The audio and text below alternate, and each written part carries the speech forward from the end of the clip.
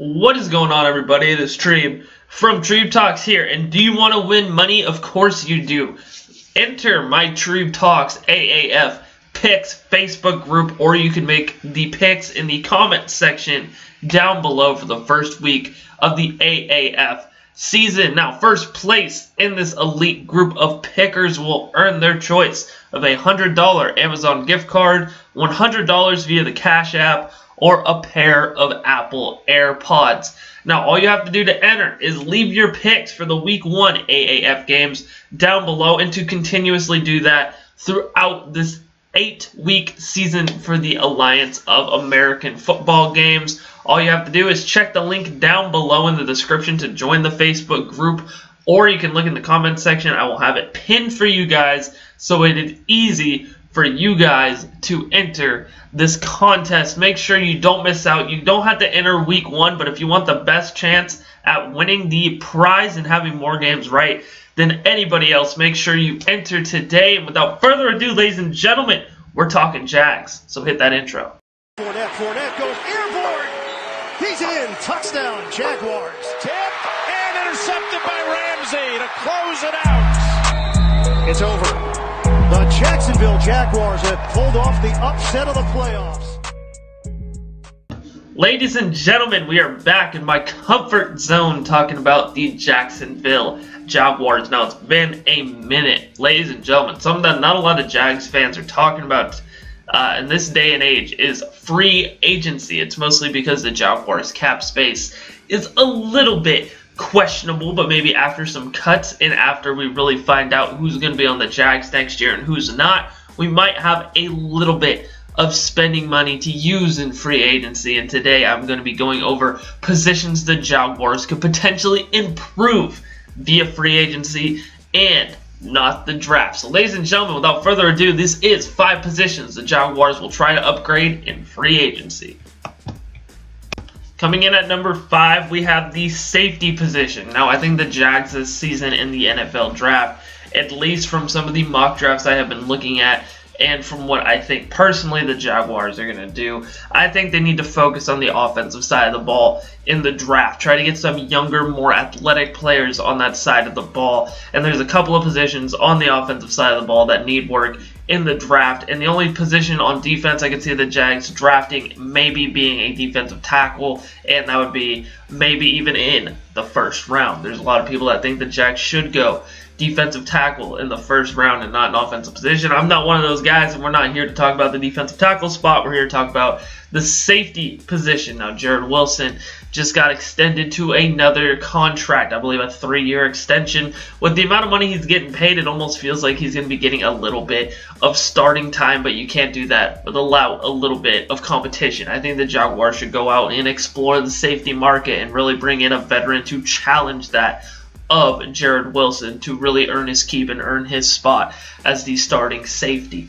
Now, I don't there's not too many high profile safeties in this free agency class or that will be a part of this free agency class. However, um, the Jags, like I said, are going to need to bring some sort of competition to breathe down Jarrod Wilson's throat because though he has had some decent playings and some decent showings, uh, at least from last season, he's nowhere near the great defensive level that a lot of these defensive players are on the Jaguars. So hopefully bringing in a veteran presence at the safety position will help Wilson get better.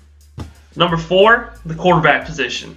Now, there's been talks among talks among talks about Nick Foles and the Philadelphia Eagles and how he's going to pay out the two million so he can be a free agent. Now, I don't think the Jags are going to pay Nick Foles what he wants, so I don't think he's a quarterback the Jags should tr- uh, try and target uh, as far as free agency goes. I think if they're going to go out and get him, they should trade for him. Um, the Eagles have allegedly been wanting a third round draft pick, but with all this Nick Foles drama going on, you really don't know what's going to happen with him until the season begins, and that's why I think the Jags might go cheap and get a guy like Tyrod Taylor. Because I think if you're the Jaguars right now in this situation, you see what the draft class is, you see the free agency class, I think you should do whatever it takes as of now to really trade up and get your guy and try to bring some excitement back to Duval County. I made a video about two, three weeks ago about if the Jaguars should sign a veteran quarterback or draft one. I think they should do a little bit of both. But I think if we're talking starting quarterback, I think the Jaguars really need to go out and try and draft their guy now. Uh, whether that be Haskins or Murray, I'm fine with either one. A lot of people aren't fine with picking Murray at seven, but I'd be 110% fine picking Murray at seven. If Haskins is off the board and uh, Murray's the only quarter, quarterback left for us to pick, I think we should give him a whirl. I think we should give him a shot because the excitement level in Duval has been so low. The Jaguars always draft conservative. They need something that'll burst the a whole stadium in excitement, and Kyler Murray brings that to the table. He's just like another Russell Wilson. So I think if the Jags are really trying to get their quarterback, they should draft one. So I think in free agency they're going to try and target a little bit of a cheaper option that maybe could start at the beginning of the season until eventually getting benched, and a guy that can do that and a guy that had that did it last year is a guy like Tyrod Taylor. I think the Jags are going to try and get Tyrod Taylor via free agency as a cheap option and a decent stopgap guy at that. And hopefully, uh, Kyler Murray can play when ready, or Dwayne Haskins even. Um, and Tyrod Taylor could kind of be the stopgap guy until these young rookies are ready, whoever the Jags. Coming in at number three, I have the tight end position. Now, if the Jags really wanted to draft a tight end, they should have done it in last year's draft class. That draft had a lot of good, talented tight ends. This year, there's not as many.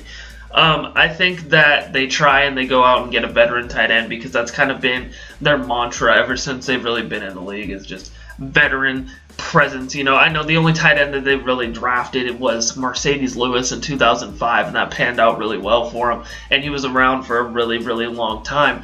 But there's a lot of youth on this team, and there's going to be a lot of youth on this offense. So I think what they need is a young, experienced tight end that's also a good blocker. Because I don't know what John DeFilippo is going to be bringing to the table, um, or what Doug Marrone is going to try and do with his philosophy this year. If he's going to try and change it, or if it's going to be more of a power run scheme. If it is that power run scheme, then the Jaguars should try and go out and get a blocking tight end, not someone that's necessarily elite pass catcher because you know we could send guys out there that we already have like James O'Shaughnessy and see what he can bring. And that's another thing is that the coaching staff seems to believe a lot in James O'Shaughnessy, so maybe he'll just be the starting tight end heading into next season. We'll uh, get a guy in free agency that'll help with depth, kind of like uh, Niles Paul, you know what we did last year.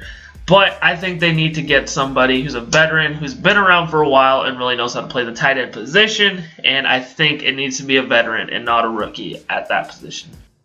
Coming in at number two is middle linebacker. Yes, the Jags need a middle linebacker, and there's no point in going for one in the draft because you're going to have to draft them in the later rounds, and that's a little sketchy when it comes to middle linebackers. But um, you know, you got some solid guys in free agency that play that position, or just a linebacker in general that could come out and play the true middle linebacker position. Um, you know, you got guys like Sean Lee, who I've uh, physically spoken about and said that I think that he could be a uh, good guy here in the system. I don't know how much he would mold uh, with the teammates that he has around him, but I think that he would fit the system well. And knock on wood, that his injury history doesn't play a part in Jacksonville, but that's always something to, of course, worry about. You also got uh, uh, Lorenzo Alexander from Tampa Bay, who I think is going to be a free agent this year. He's a little bit on the old side, but uh, bringing him to an elite defense filled with dogs and guys that you know can go out there and get the job done, I think that would fit his uh,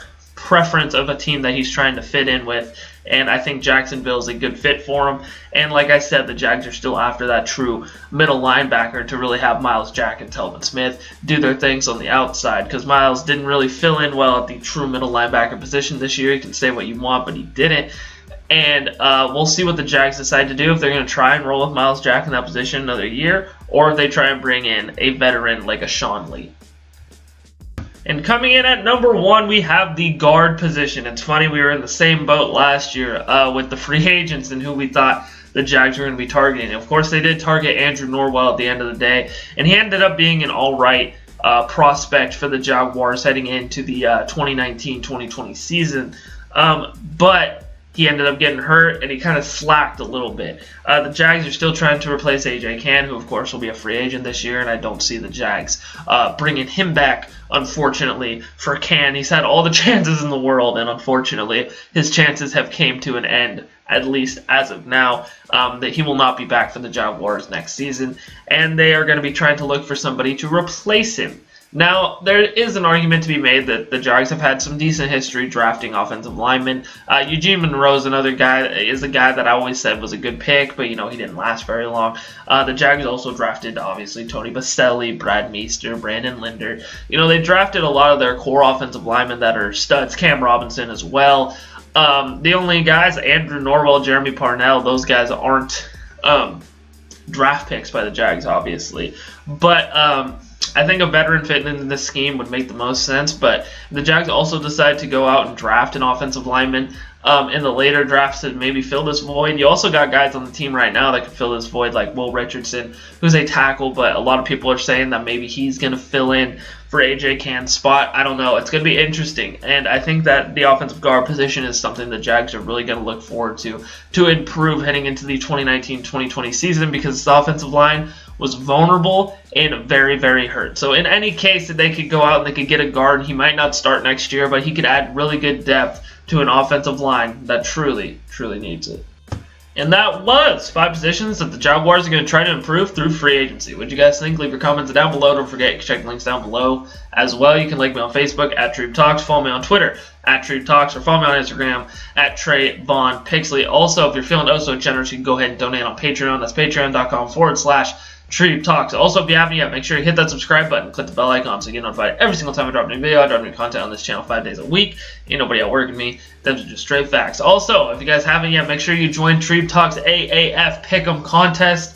Uh, there's going to be a pinned link down below to the Facebook group you can join. Let's get it. Let's see if you guys can win some money. Thank you guys for watching this video, and as always, you guys have a great day.